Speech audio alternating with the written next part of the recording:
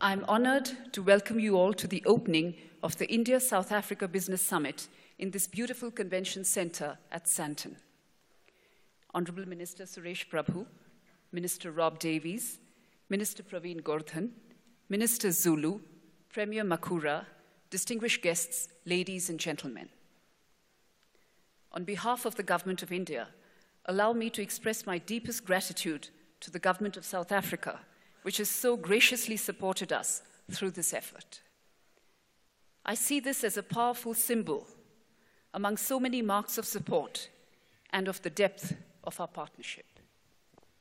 Minister Suresh Prabhu from India and Ministers Davies, Gordhan and Zulu and Premier Makhura from South Africa, we are deeply grateful for your participation at this monumental summit.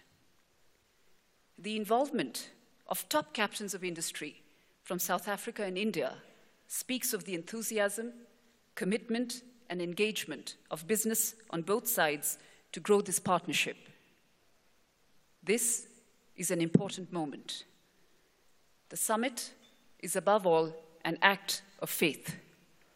An act of faith between two old partners and friends who are united through a shared history of oppression, struggle, and hardship, who sealed a strategic partnership 20 years ago through the Red Fort Declaration, and where today this partnership straddles diverse spheres and sectors to the benefit of our two countries and people.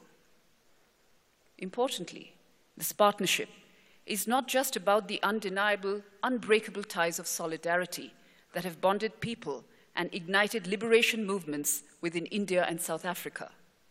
This partnership is also about a shared future. Through synergies, through shared strengths, and through our membership in multilateral settings where we seek constantly to engage, deliberate, and collaborate. Significantly, there are new beginnings at the summit to this new growth story between two old friends.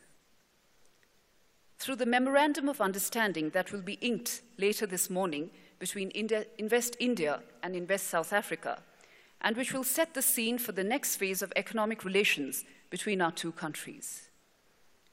Through the release of the CII sponsored white paper, which spotlights the good work being done by Indian businesses in South Africa with an accent on localization, skilling South Africans, and working in a collaborative spirit for mutually beneficial growth and progress.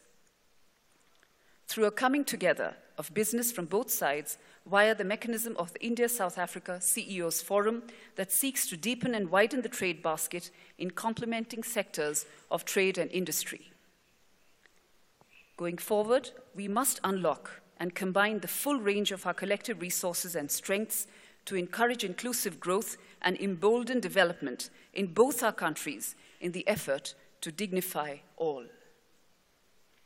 So, together, let's crack the code and push for enriched trade and investment for the benefit of our two countries and people. Thank you.